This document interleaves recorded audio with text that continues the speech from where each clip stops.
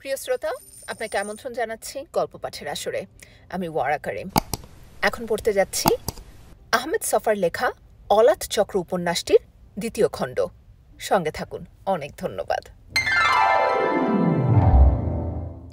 গোটা দিনের কর্মকাণ্ড সম্বন্ধে একদম ভুলেই ছিলাম। নরেশদার কথায় সমস্ত দিনের ঘটনারাজি একটার পর একটা বায়োস্কোপের ছবির মতো প্রাণবান হয়ে উঠল। আমি বললাম সকাল দশটার দিকে তো গেলাম লেনিন সরণিতে। তিনি জানতে চাইলেন, লেনিন সরণিতে কেন? বললাম, জাহিদুলের কাছে তাইবার ঠিকানা চাইতে। জাহিদুল, তোমাকে তাইবার ঠিকানা দিল? তিনি পাল্টা প্রশ্ন করলেন। হ্যাঁ দিতে কি চায়? শেষ পর্যন্ত দিতে বাধ্য করা হলো।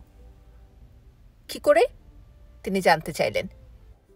জবাবে বললাম সিঁড়ি দিয়ে উঠে দোতলায় গিয়ে দেখি একবারে সিঁড়ির গোড়ার রুমটিতে জাহিদুল মটকার পাঞ্জাবি পরে বসে আছেন। হারমোনিয়াম, তবলা ইত্যাদি ফরাসের একপাশে।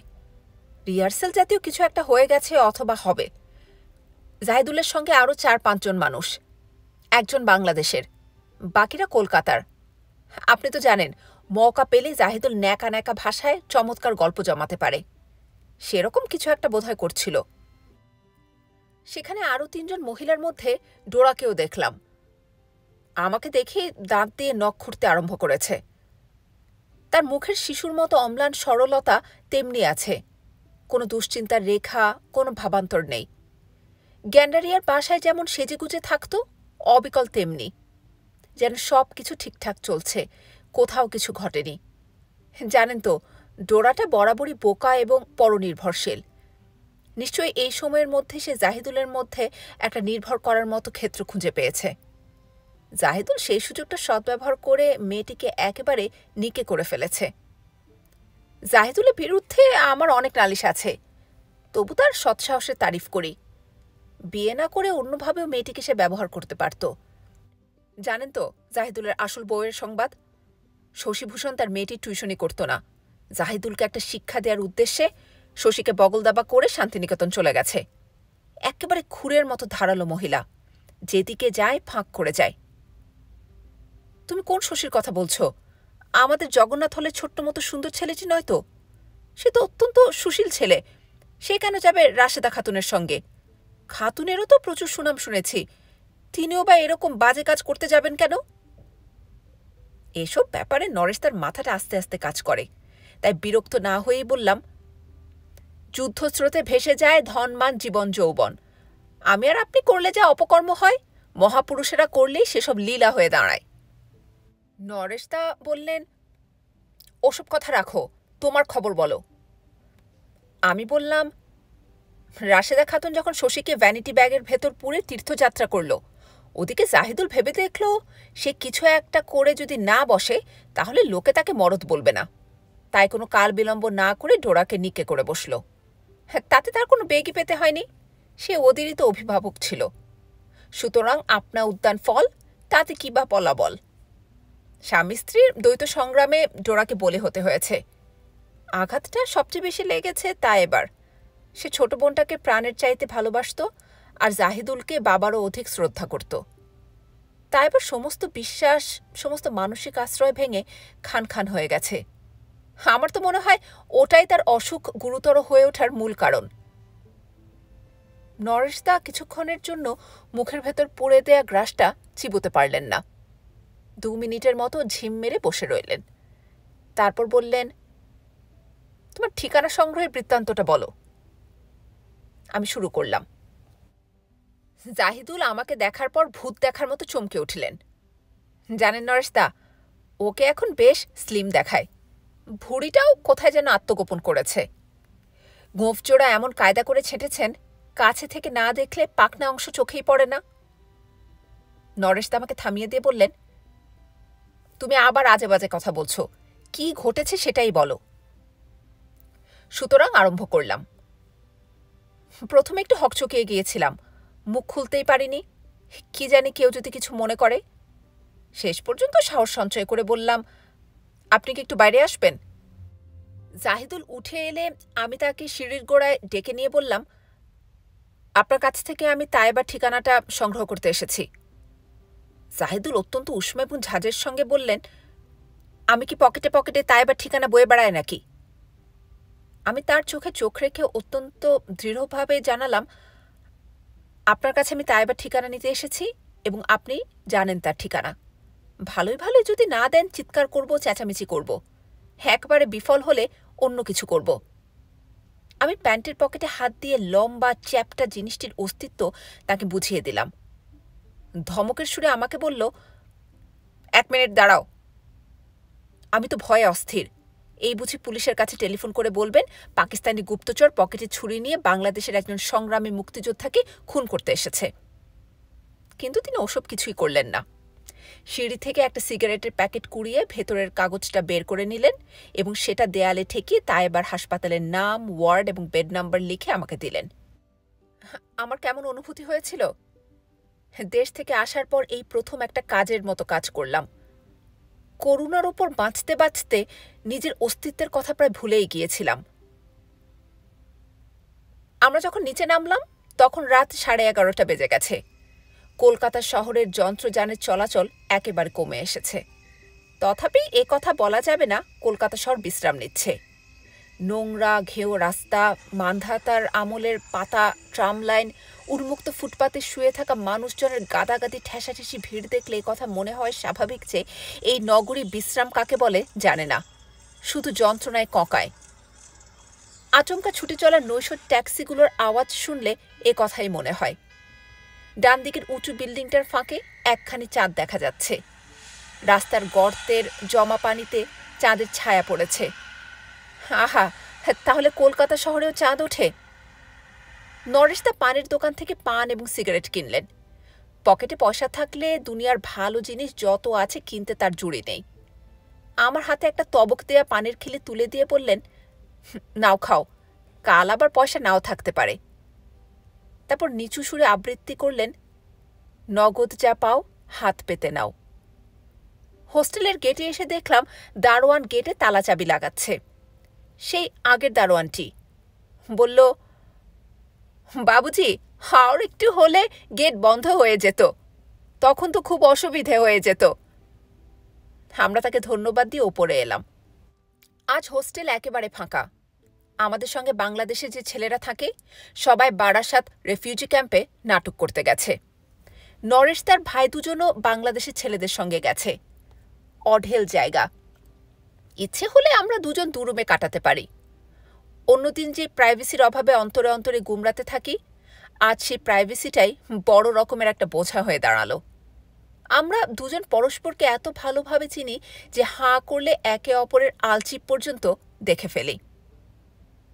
নরেশ তা বিছানার উপর শটান শুয়ে পড়ে পুরনো কথার খেয়ে ধরে জিজ্ঞেস করলেন, তাইবাকে কোন হাসপাতালে ভর্তি করা হয়েছে? জবাব দিলাম, পিজিতে। তা তুমি দেখতে গিয়েছিলে?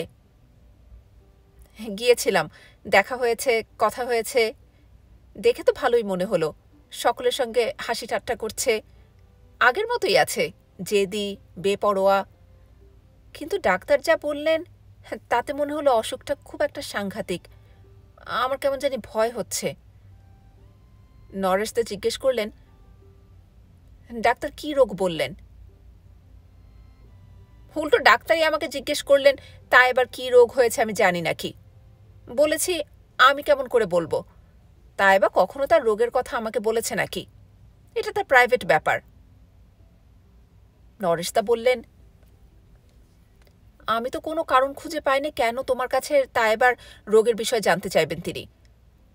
আমি বললাম রহস্য টহস্য কিছু নেই।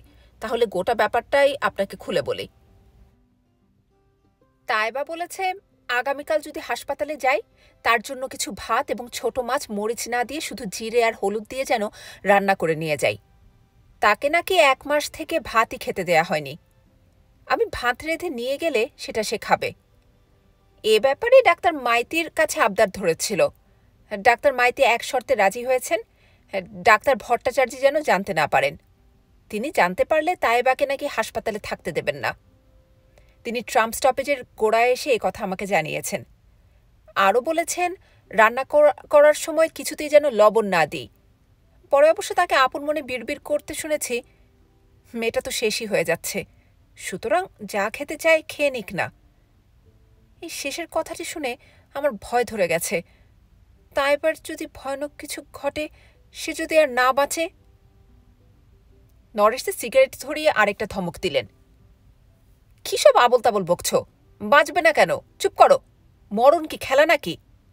পাকিস্তানের সৈন্যদের হাত থেকে ছাড়া পেয়ে এতদূর যখন আসতে পেরেছে, হে দেখবে নিশ্চয়ই ভালো হয়ে উঠবে। হয়তো একটু সময় নেবে। এই ভাত মাছ রান্নার ব্যাপারটি নিয়ে কিছু ভেবেছ কি? না এখনও ভেবে ঠিক করতে পারিনি। আপনি বনগা থেকে ফেরার পর আমি এলাম।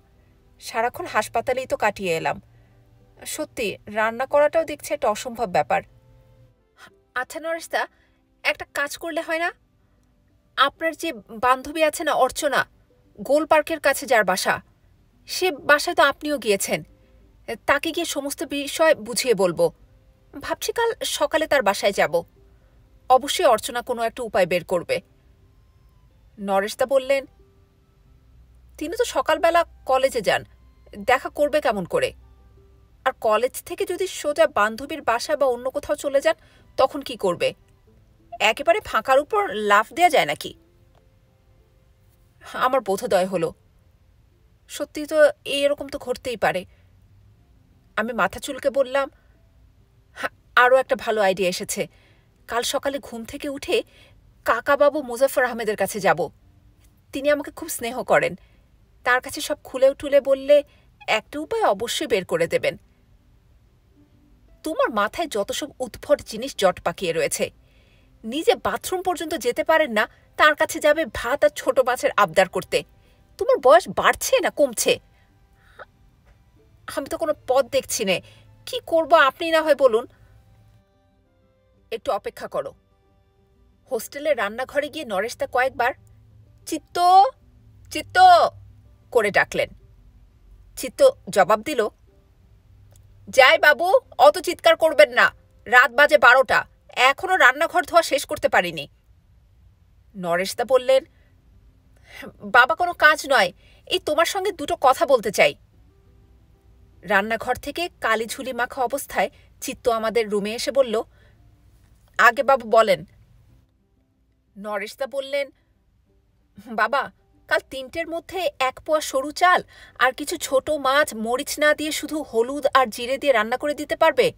একটা রোগীর জন্য। তুমি না পারলে অন্য কোথাও চেষ্টা করে দেখব। তা বাবু হয়তো পারা যাবে, কিন্তু বাজারটা কি আমি করব না আপনারা করবেন? সেটাও বাবা তোমাকে করতে হবে। ট্যাংরা মাছ পাওয়া যায় কিনা দেখবে। এই নাও। নরেশদা আস্ত একখানা পঞ্চাশ টাকার নোট চিত্তের হাতে তুলে দিলেন। চিত্তের মুখমণ্ডলে একটা প্রফুল্লতার ছোঁয়া দেখা গেল। নরেশদা বললেন, ঘুমোবে? বললাম, ঘুম যে আসতে চাইছে না। চোখ বন্ধ করে থাকো, এক সময় আসবে। তিনি বাতি নিভিয়ে মশারি টাঙিয়ে নিজে ঘুমিয়ে পড়লেন। একটু পরে নাক ডাকতে আরম্ভ করলেন। কিন্তু আমি চোখের পাতা জোড়া লাগাতে পারছিলাম না। কোথায় একটা মস্ত বড় গণ্ডগোল হয়ে গেছে। তাইবা, ডোরা, জাহিদুল, আমি, নরেশদা আমাদের সকলেরই জীবন অন্যরকম ছিল এবং অন্যরকম হতে পারত। মাঝখানে একটা যুদ্ধ এসে সব কিছু ওলট পালট করে দিয়ে গেল। যতই চিন্তা করতে চেষ্টা করি না কেন, একটা সূত্রের মধ্যে বাঁধতে পারি নে। সব কিছু এলোমেলো ছাড়া ছাড়া হয়ে যায়। এই দু আড়াই মাস সময় এরই মধ্যে কীরকম হয়ে গেল আমাদের জীবন? সাতই মার্চে শেখ মুজিবের সে প্রকাণ্ড জনসভার কথা মনে পড়ল। লক্ষ লক্ষ মানুষ, কি তাদের উৎসাহ উদ্দীপনা? চোখে কি দীপ্তি? কণ্ঠস্বরে কি প্রত্যয়? আন্দোলনের সেই উত্তাল উত্তুঙ্গ জোয়ার, সব এখন এই কলকাতায় রাতে স্বপ্নের মতো মনে হচ্ছে। অথচ এখনও দু আড়াই মাস পার হয়নি। সে পঁচিশে মার্চের রাতটি, হাহা, সে চৈত্র রজনী। সেই বাংলাদেশের চৈত্র মাসে তারা জলা চাঁদ জলা আকাশ।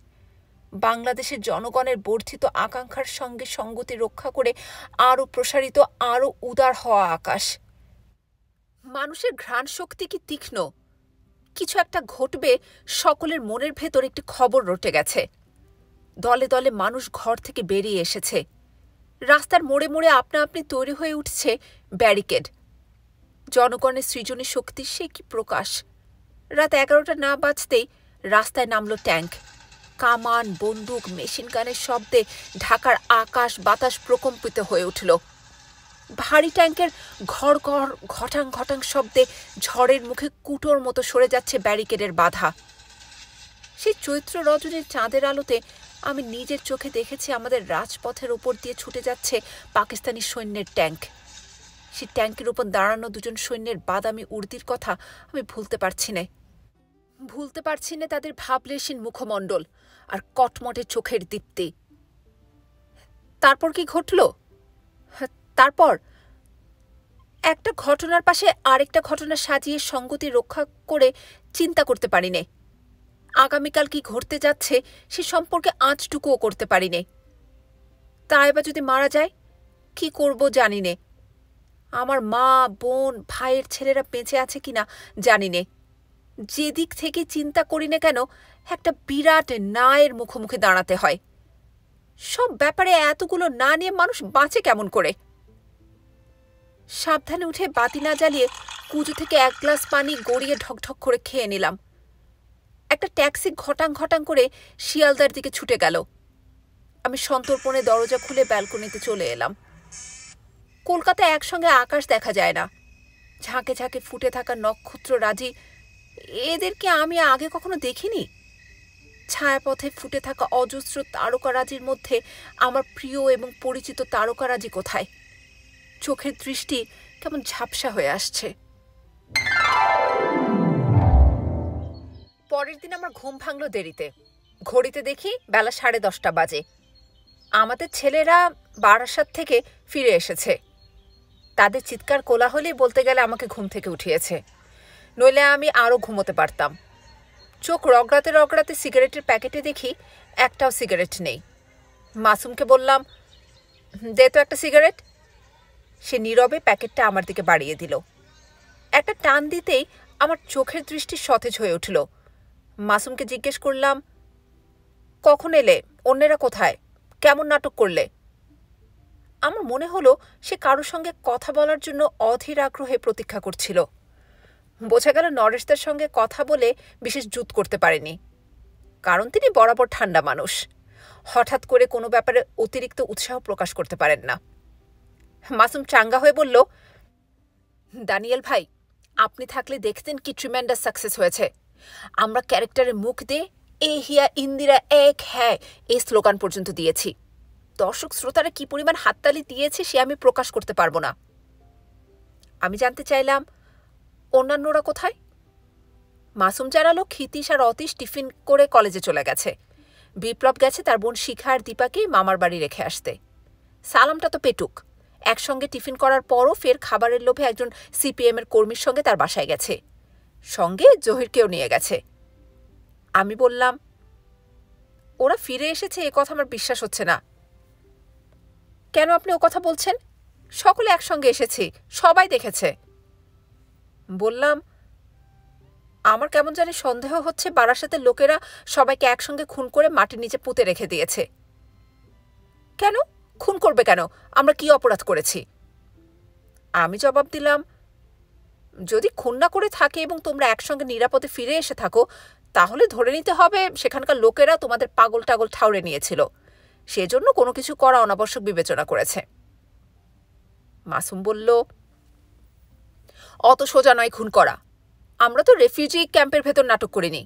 কে না জানে সেখানে কংগ্রেসের রাজত্ব? আমরা নাটক করেছি ক্যাম্প থেকে একটু দূরে। সিপিএম এর তৈরি করা স্টেজে অথচ রেফিউজি ক্যাম্পের সমস্ত লোক নাটক দেখতে এসেছে। নাটক যখন চরম মুহূর্তটির দিকে এগুচ্ছিল, একজন সিপিএম কর্মী পরামর্শ দিলেন হ্যাঁ দাদা, এই জায়গায় একটু প্রম্পট করে দিন।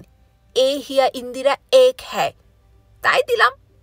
কথাটা যখন চরিত্রের মুখে উচ্চারিত হলো, সে কি তুমুল করতালি আর গোটা মাঠ ভর্তি মানুষের মধ্যে কি তীব্র উত্তেজনা? জানেন তো, বারাসত হল সিপিআইএম এর সবচেয়ে মজবুত খাঁটি কংগ্রেসের মাস্তানরা এসে কোনো উৎপাত সৃষ্টির চেষ্টা যদি করত তাহলে একটাও যান নিয়ে পালিয়ে যেতে পারত না। উত্তেজনার তোড়ে পানির জগটা মুখে নিয়ে ঢকঢক করে অনেকখানি পানি খেয়ে ফেলল। এরই মধ্যে মাসুমের উচ্চারণ পদ্ধতির মধ্যে কলকাতার লোকের মতো টান টোন লক্ষ্য করা যাচ্ছে।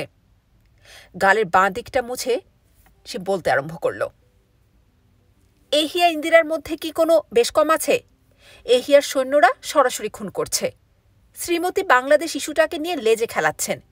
এতে তাঁরই লাভ বিরোধী দলগুলোকে কাবু করার এমন সুযোগ তিনি জীবনে কি আর কোনোদিন পাবেন?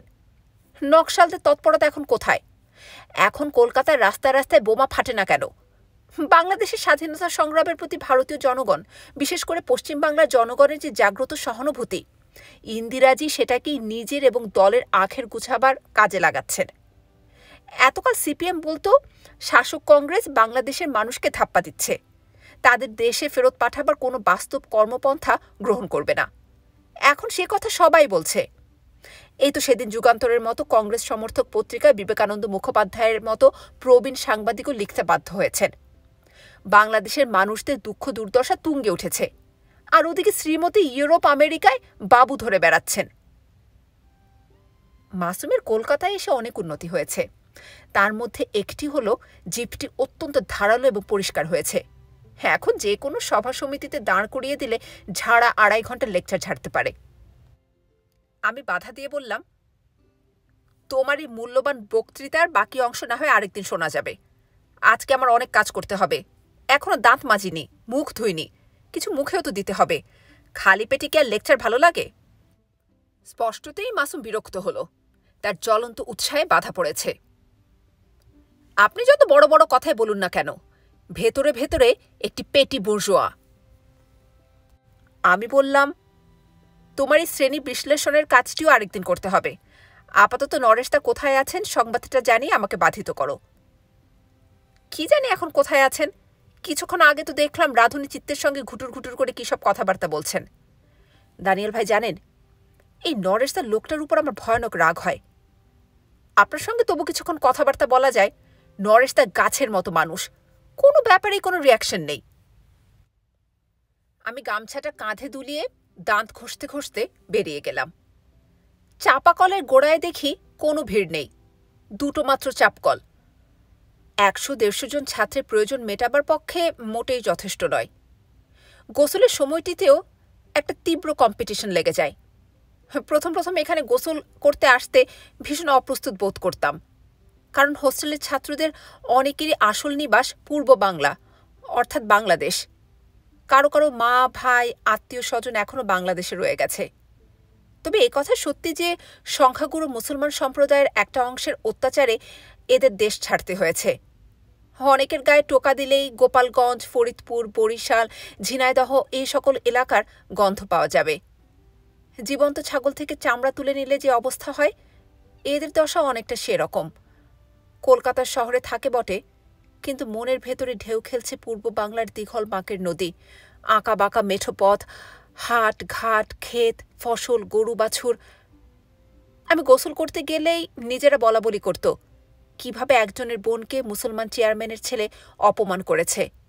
অন্যজন বলতো, পাশের গায়ের মুসলমানেরা এক রাতের মধ্যে ক্ষেতের সব ফসল কেটে নিয়ে গেছে। ছোটখাটো একটি ছেলে তো প্রায় প্রতিদিন উর্দু পড়াবার মৌলবীকে নিয়ে নিত্য নতুন কৌতুক রচনা করত। ভাবতাম আমাকে নেহায়ত কষ্ট দেওয়ার জন্যে এরা এসব বলা বলি করছে।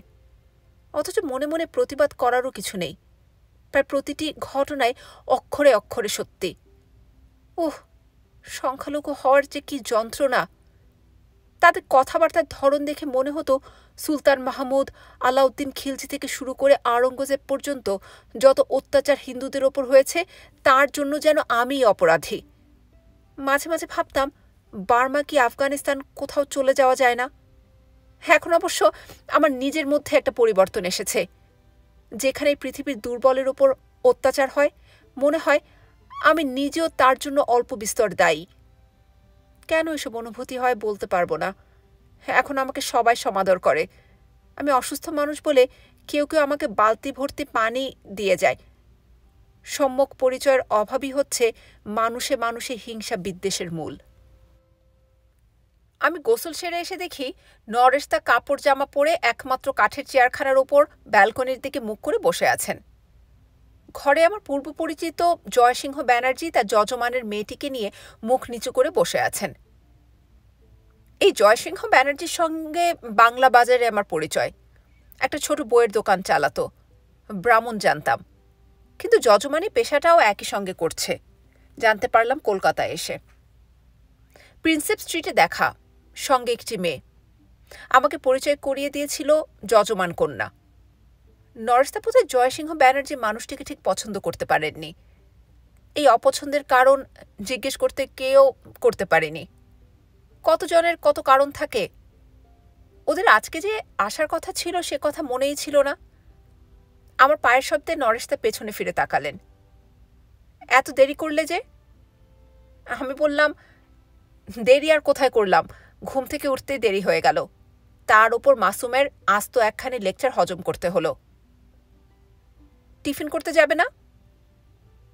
সে কি? আপনি সকাল থেকে কিছু না খেয়ে বসে আছেন? তিনি বললেন তুমি কি মনে করো? মনে কড়াকড়ি নিয়ে কাজ নেই, চলুন। জয়সিংহ ব্যানার্জিকে বললাম, আপনার একটু অপেক্ষা করুন, এই আমরা কিছু খেয়ে চলে আসব। নরেশদা বললেন, ওনারাও সঙ্গে চলুন, আমাকে তো রুম বন্ধ করে যেতে হবে, আর তো কেউ নেই, পাহারা দেবে কে? আমি যাব আমার কাজে, তোমাকেও বোধহয় বেরোতে হবে, অতএব কাপড় চোপড় পরে একেবারে তৈরি হয়ে নেয়াই উত্তম। মনে আছে তো? তিনটের সময় তোমাকে কোথায় যেতে হবে? আমার শরীরে একটা প্রদাহ সৃষ্টি হলো। বললাম, চলুন চলুন। রাস্তার ওপাশের ছোট্ট অবাঙালি দোকানটিতে গিয়ে পুরি তরকারি খেয়ে নিলাম। জয়সিংহ ব্যানার্জি এবং তার যজমান কন্যা কিছুতেই খেতে রাজি হলেন না। তারা বসে বসে আমাদের খাওয়া দেখলেন। ঘুম থেকে ওঠার পর থেকেই দেখছি আকাশে বড় বড় মেঘ দৌড়াদৌড়ি করছে। তখনও মাটির ভাঁড়ের চা শেষ করিনি। ঘন কালো মেঘে মেঘে কলকাতার আকাশ ছেয়ে গেছে। একটু পরেই বড় বড় ফোঁটায় বৃষ্টি নেমে এলো। দেখতে দেখতে রাস্তায় জল দাঁড়িয়ে গেল। আমাদের আর বেরোবার কোনো উপায় রইল না। নরেশদা বললেন, এরপরে তুমি কোথায় যাবে? আমি বললাম, এদিনই প্রিন্সিপ স্ট্রিটে সোহরাব সাহেবের কাছে যাব।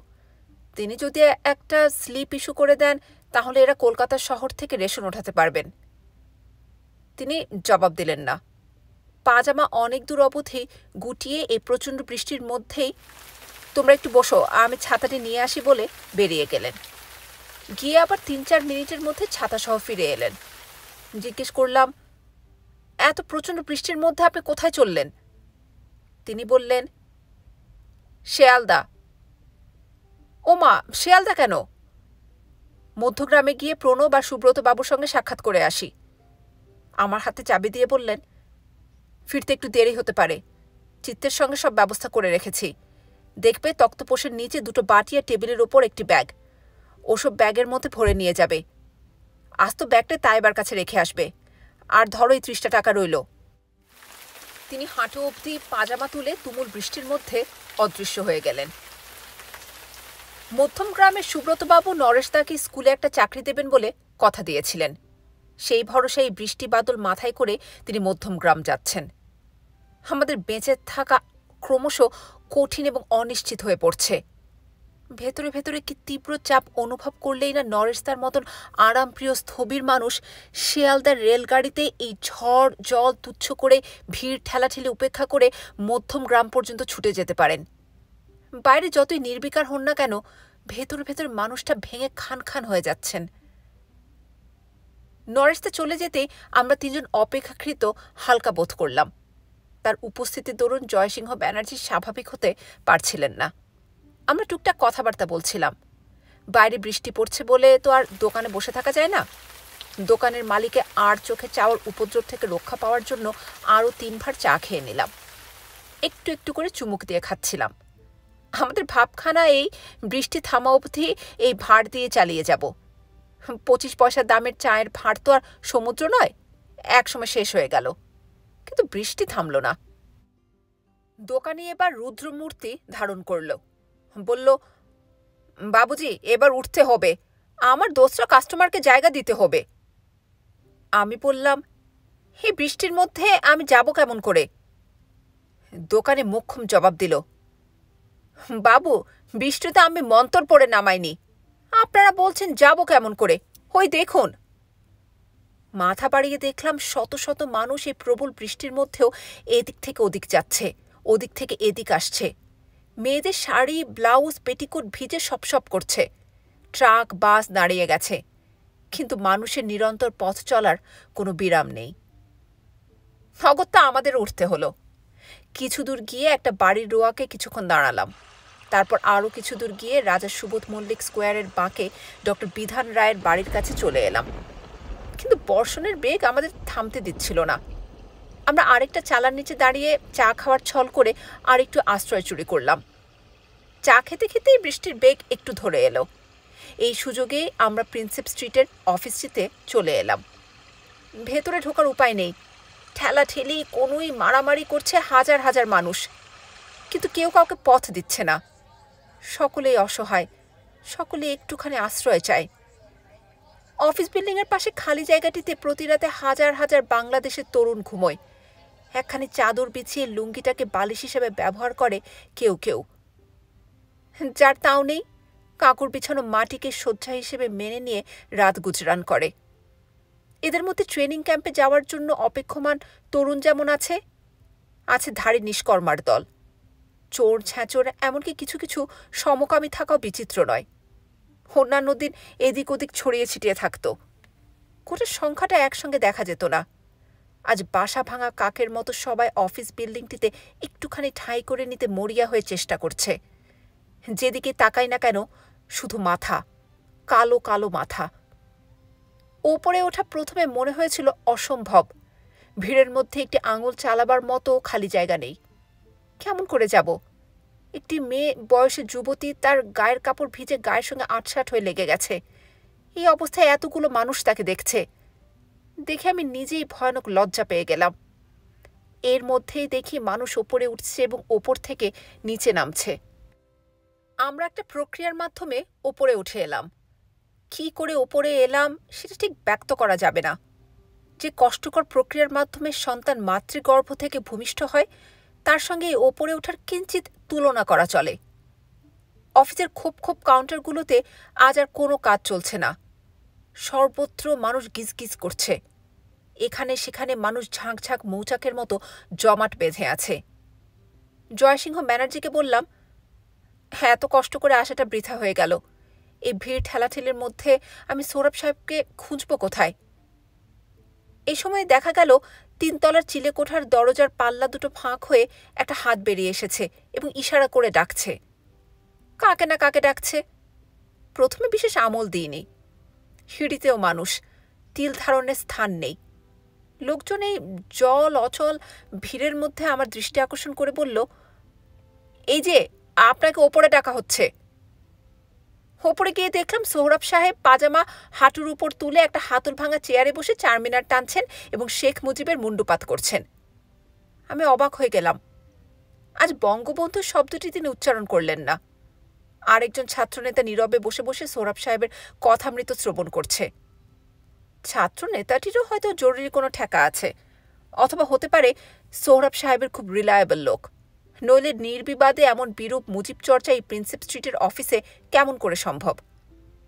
আমি বললাম চুটিয়ে তো নেতার সমালোচনা করা হচ্ছে। যদি আমি চিৎকার করে জনগণকে জানিয়ে দিই, তখন বুঝবেন ঠেলাটা। তক্ষুনি আমার দৃষ্টি সৌরভ সাহেবের হাঁটুর দিকে ধাবিত হলো। যতটুকু পাজামা গুটিয়েছেন, দেখা গেল কালো কালো লোমগুলো সোজা দাঁড়িয়ে গেছে। একেবারে লোমের বন। ঘরে একজন মহিলা আছে দেখেও তিনি পাজামাটা ঠিক করে নিলেন না। বসার কোনো ব্যবস্থা ছিল না স্বল্প পরিসর কক্ষটিতে। তাই দাঁড়িয়ে রইলাম। সোহরাব সাহেব বললেন, নেতাকে বকবো না তো কাকে বকবো? নেতার ডাকেই তো ঘর ছেড়ে বেরিয়েছি। আজকে আসার সময় দেখলাম বাচ্চাটার পাতলা পায়খানা হচ্ছে। যে ঘরটিতে থাকি পানি উঠেছে। আর কত কষ্ট করব। এখন পাকিস্তানের সঙ্গে একটা মিটমাট করে ফেললেই হয়। ঘরের ছেলে ঘরে ফিরে যাই। আমি বললাম, আপনি যদি এ কথা বলেন তাহলে গোটা বাংলাদেশের মুক্তিযুদ্ধটা দাঁড়াবে কিসের ওপর? সোহরাব সাহেব বললেন, সাধে কি আর এরকম কথা মুখ দিয়ে আসে? কত দিকে কত কাণ্ড ঘটছে সেসবের হিসেব রাখেন? আমি বললাম, কোনো হিসেবই রাখি না সৌরভ সাহেব। কি করে রাখব? সৌরভ সাহেব আমার হাতে একটা লিফলেট দিয়ে বললেন, আপনি হার্মলেস মানুষ। তাই বিশ্বাস করে পড়তে দিচ্ছি। লিফলেটটি আগরতলা থেকে বেরিয়েছে। সংক্ষেপে তার মর্মবস্তু এরকম। বঙ্গবন্ধু শেখ মুজিবুর রহমান পাকিস্তানি সৈন্যের হাতে ধরা পড়বার আগে এক ঘরোয়া সভা ডেকেছিলেন। তাতে তিনি যদি পাকিস্তানি সৈন্যের হাতে ধরা পড়েন, কি কি করতে হবে সে সকল বিষয়ে আলোচনা হয়েছিল। ওই সভায় একজন নাকি শেখ সাহেবের কাছে সাহস করে জিজ্ঞেস করছিল, বঙ্গবন্ধু, আপনার অবর্তমানে আমরা কার নেতৃত্ব মেনে চলব? শেখ সাহেব আঙ্গুল তুলে শেখ মণিকে দেখিয়ে বলেছিলেন, তোমরা এর নেতৃত্ব মেনে চলবে। লিফলেটটা ফেরত দিলে তিনি পাঞ্জাবের পকেট হাতরে একটা জেন্ট সাইজের পকেট রুমালের মতো পত্রিকা বের করে আমার হাতে দিয়ে বললেন, এই দাগ দিয়ে অংশটুকু পাঠ করুন। তারপর বিশুদ্ধ বাঙ্গাল উচ্চারণে বললেন, নেতাকে কি আর সাথে গাইল্লাই? পত্রিকাটি পড়ে দেখেন। সংক্ষেপে সার কথা এই আগরতলাতে নেতৃত্বের দাবিতে দুই প্রতিদ্বন্দ্বী ছাত্রের দল একরকম সম্মুখ সমরে অবতীর্ণ হতে যাচ্ছিল। তার প্রতিবাদে আগরতলার জনসাধারণ প্রকাশ্য সভা করে স্পষ্ট জানিয়ে দিয়েছে যে আগরতলার মাটিতে বাংলাদেশের মানুষদের এই মারামারি হানাহানি তারা বরদাস্ত করবে না। বাংলাদেশের মানুষ নিজেদের মধ্যে হানাহানি করতে চায়, নিজেদের দেশে গিয়ে করুক। কাগজটা ফেরত দিয়ে সোরাব সাহেব আমাকে জিজ্ঞেস করলেন, ভালো লেখেনি? আমি মাথা নাড়লাম। অনেকক্ষণ এক নাগাড়ে দাঁড়িয়ে থেকে পায়ে বাদ ধরে গেছে। সুতরাং অধিক কথা না বাড়িয়ে বলে ফেললাম সোরাব সাহেব, আপনার কাছে এদের জন্য একটা রেশন কার্ড ইস্যুর স্লিপ নিতে এসেছিলাম। আমি জয়সিংহ ব্যানার্জি এবং তার যজমানের মেয়ের সবিতাকে দেখিয়ে দিলাম। তিনি বললেন, আরে সাহেব, আপনি আমায় কি মুশকিলে ফেললেন? এই ভিড় হট্টগোলের সময় আমি কাগজ কোথায় পাই? কি করে কলম জোগাড় করি? আমি পকেট থেকে কাগজ কলম বের করে বললাম, এই নিন, আপনি লিখে দিন। তিনি খসখস করে গদ বাঁধা ইংরেজিতে লিখে দিলেন, please issue ration card for mister so and so, ইত্যাদি ইত্যাদি। কাগজটা আমার হাতে দিয়ে বললেন, বা দিকের কাউন্টারে যে লোক বসে, তাকে দেখালে একটা স্লিপ দিয়ে দেবেন। ওরা চলে গেল। আমরা আরও কিছুক্ষণ গল্প কাছা করলাম। এরই মধ্যে বৃষ্টি ধরে এসেছে, তবে মেঘ কাটেনি। ঘড়িতে দেখলাম একটা বাজে। আমাকে উঠতে হলো।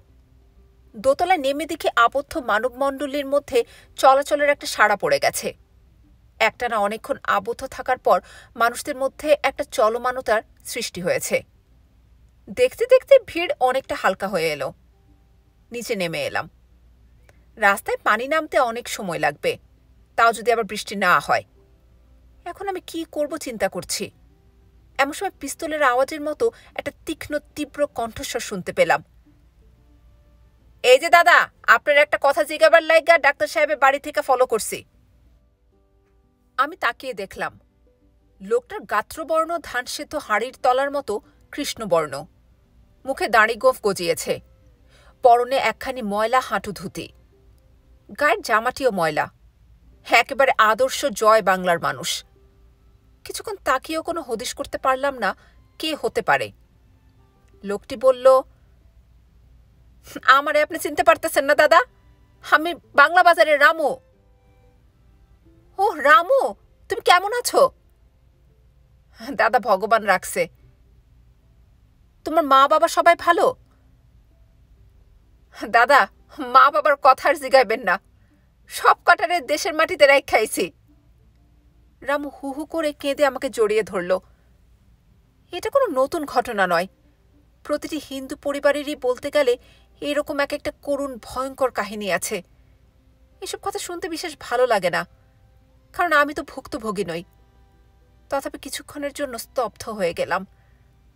পরক্ষণে রামু আমাকে ছেড়ে দিয়ে শটান সোজা দাঁড়িয়ে চোখে চোখ রেখে বলল, দাদা, জয়সিংহ ঠাকুরের লগে আপনারা তো পীড়িত কিয়ের?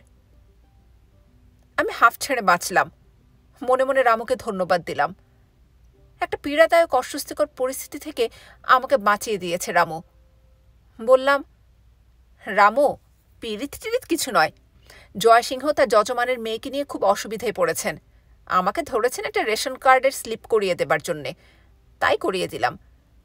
মেয়েটির নাকি আর কোনো অভিভাবক নেই। তাই তাকে পোষার দায়িত্ব জয়সিংহের ঘাড়ে এসে পড়েছে। অন্যায় কিছু করেছি রামু? রামু এবার রাগে ফেটে পড়ল। শালা বদমাইশ বাউন, মার বন্ধুইটা ক্যাম্পে কাইন্দা কাইন্দা চোখ ফুলাইয়া ফেলাইছে। আর হারামজাদা মাইয়ারারে কলকাতা টাউনে আই না মজা মারবার লাগছে। আর ওই মাগিটাও একটা খানকি। বুঝলেন দাদা, এই খবরটা আপনারা জানান উচিত মনে কইরা পাশু ধরছিলাম। তারপর উত্তরের কোনো পরোয়া না করে রামু হাঁটু ধুতিটা আরও ওপরে তুলে রাস্তায় পানির মধ্যে পা চালিয়ে হনহন করে চলে গেল। হঠাৎ করে আমার খুব রাগ হচ্ছিল। কাউকে খুন করে ফেলার ইচ্ছে যাচ্ছিল করার মতো কিছু না পেয়ে রেগে দাঁতে অধর চেপে দাঁড়িয়ে রইলাম। একটু পরে থুতনির কাছে তরল পদার্থের অস্তিত্ব অনুভব করে আঙুল দিয়ে দেখি রক্ত। আমার অধর কেটে গিয়ে ফোঁটায় ফোঁটায় লাল রক্ত বেরিয়ে আসছে। একটা দীর্ঘশ্বাস ছাড়লাম।